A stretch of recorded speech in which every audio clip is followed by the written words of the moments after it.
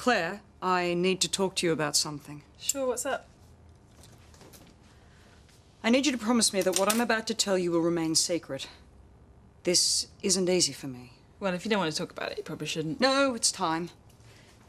As you know, two months ago, I scored a job working in a top secret scientific laboratory. Well, you got a job at Laboratoire Garnier working on research. It's a laboratory nonetheless.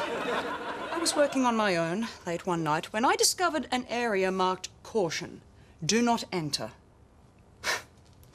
Naturally, my curiosity got the better of me, and I entered.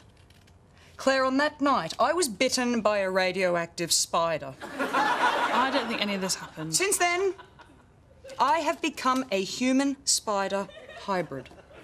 I literally have the powers of a radioactive spider.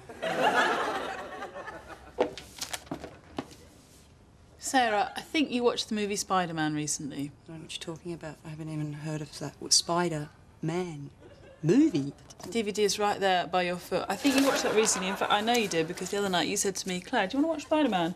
And I said, no, I saw it like six years ago. Well, how do you explain this?